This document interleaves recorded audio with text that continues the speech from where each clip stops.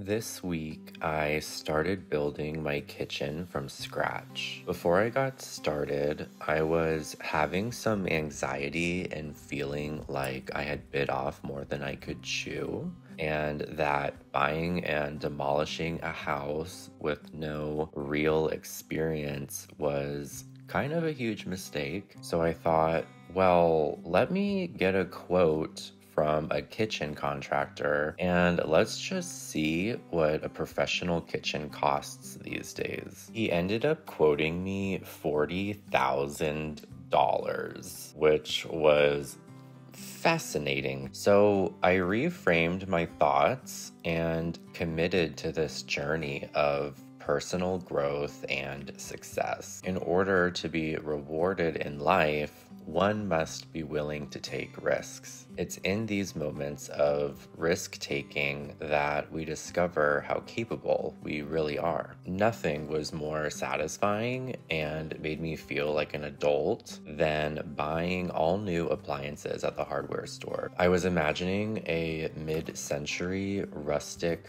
desert cabin sort of a vibe, but still modern and profitable. There's really a million ways that you can go about this. So I did a lot of research on YouTube and it only confused me even more. I chose to construct a frame out of 2x4s and fabricate the sides with plywood. This is a very simple process that didn't actually take too long. I'd say the hardest part about this was building the drawers. They really do need to be cut and assembled perfectly, otherwise, the sliders will be off and your drawers will make you feel like it's 1989. After I built them, they weren't really sliding perfectly, so I just sanded them down in places until everything fit together and slid nicely. They aren't flawless, but they're really not bad for my first time.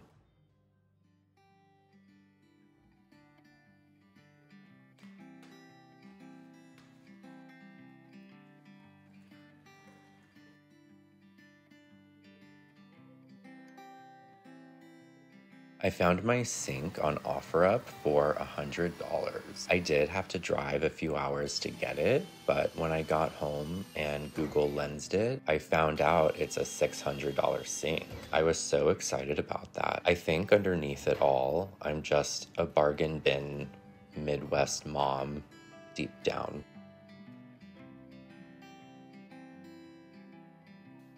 I was having a hard time deciding on a color palette for these cabinets, but ultimately I decided to leave the raw wood with a medium satin stain. I just love the look of raw wood and the variation in the texture. If I decide to change it one day, it can always be painted.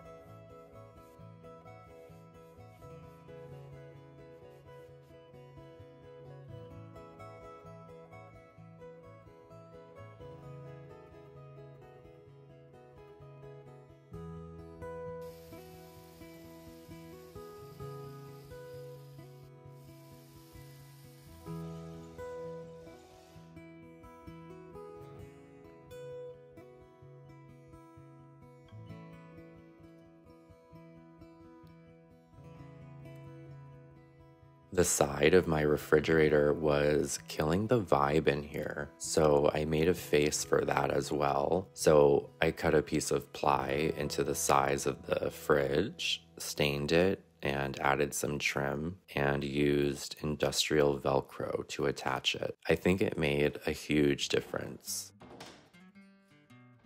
I took down these old blinds from the window and added some framing. It's crazy how much this changed everything and opened up the space. I saw pictures of this house from 15 years ago, and these blinds had been up there this entire time. Some people really choose to enclose their spaces and live like a mole. It makes me feel good to refresh this space and give it new life. Once that was done, I had to figure out what to do for a backsplash splash. The stain on the cabinets did turn out a few shades deeper than I had anticipated, so I thought putting something lighter up there would help brighten it up and give it a fresh, modern look. So I shopped for porcelain, ceramic, and glass tiles, but I just couldn't decide on anything. I wanted something unique, but everything seemed a bit generic and I was afraid to spend a ton of money and do something bold just to not like it in the end. I don't know how this even came to me, but I decided to make my own tiles out of quarter inch plywood.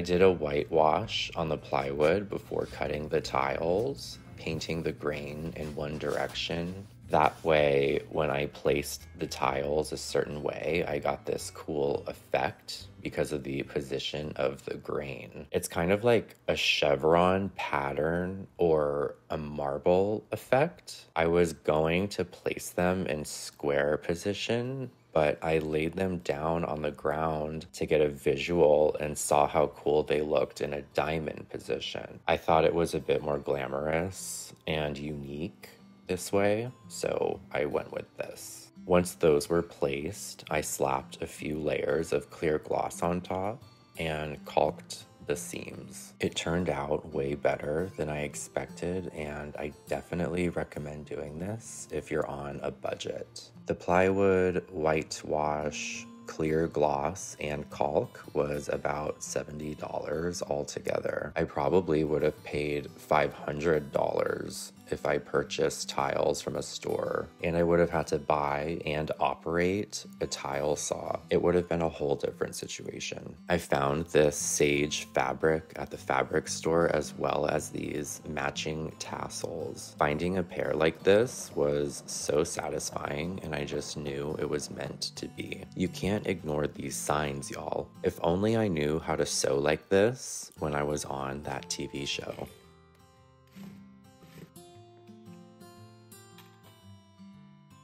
I wanted to make some floating shelves, so I cut a 2x8 board and added some trim to create an edge so that all my crystal glassware wouldn't slide off the edge and shatter all over the countertop.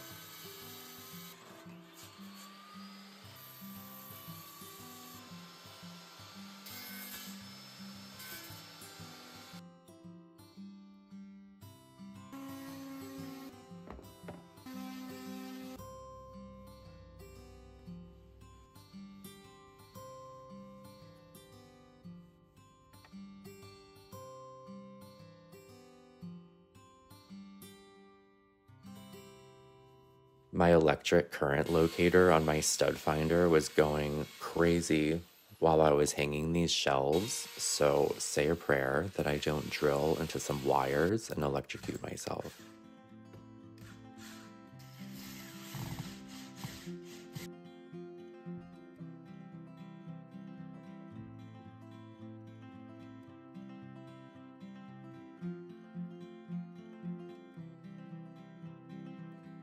I hung a pretty decent sized mirror in this empty space above the backsplash, which I found at a thrift store, and also took down that dated fan and replaced it with this rustic light. I'm not crazy about it, so I'll probably swap it out with a white pendant at some point. And that was pretty much the whole first part of the kitchen complete. This is just part one of my kitchen renovation. I'm gonna build the kitchen island and pantry in my next video. Remember the guy who quoted me $40,000? Well, Besides the cost of the appliances, I did all of this for probably less than $1,000. So I guess you could say I saved $39,000. Crazy. It was such a relief to get this over with. If something went wrong, it would have set off the tone for the rest of the house. I had been doing dishes with the garden hose, so accomplishing this made me feel normal again. At the end of the day, success doesn't define your character. It's the willingness to step into the unknown and embrace the possibility of failure. The world rewards those who are bold enough to believe in their visions and take risks to turn those visions into reality. I think about some of the people that I watched build things on YouTube who are usually like macho hetero dudes. I think some people have a tendency to overcomplicate projects. Overcomplicating projects just leads to confusion, delays, and unnecessary consumption, which can hinder your productivity. I can't tell you how many times I've been persuaded into buying something other than what I originally went into the store to get, only for it to fail and have to return to the store and buy what I had originally intended to buy. I think it's in some people's nature to involve themselves in order to feel needed or intelligent. The true measure of intelligence isn't about complexity, but the ability to navigate challenges with simplicity and effectiveness. Moral of the story Believe in yourself and only involve people when it's absolutely critical.